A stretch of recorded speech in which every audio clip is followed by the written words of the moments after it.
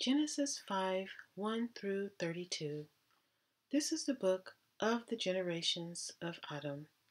In the day that Elohim created man, in the likeness of Elohim made he him.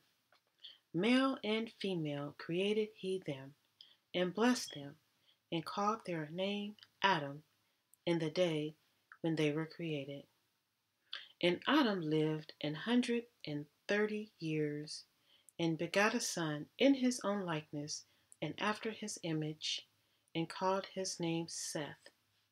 In the days of Adam, after he had begotten Seth, were eight hundred years, and he begot sons and daughters. In all the days that Adam lived were nine hundred and thirty years, and he died. And Seth lived an hundred and five years, and begot Enos. And Seth lived after he begot Enos eight hundred and seven years, and begot sons and daughters. And all the days of Seth were nine hundred and twelve years, and he died. And Enos lived ninety years, and begot Cainan. And Enos lived after he begot Cainan eight hundred and fifteen years, and begot sons and daughters. And all the days of Enos were nine hundred and five years, and he died. And Cainan lived seventy years, and begot Mahalalel. And Cainan lived, after he begot Mahalalel, eight hundred and forty years, and begat sons and daughters. And all the days of Cainan were nine hundred and ten years, and he died. And Mahalalel lived sixty and five years, and begat Jared. And Mahalalel lived, after he begat Jared, eight hundred and thirty years, and begat sons and daughters.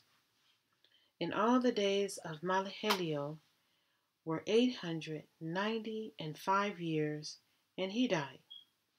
And Jared lived an hundred sixty and two years, and he begot Enoch.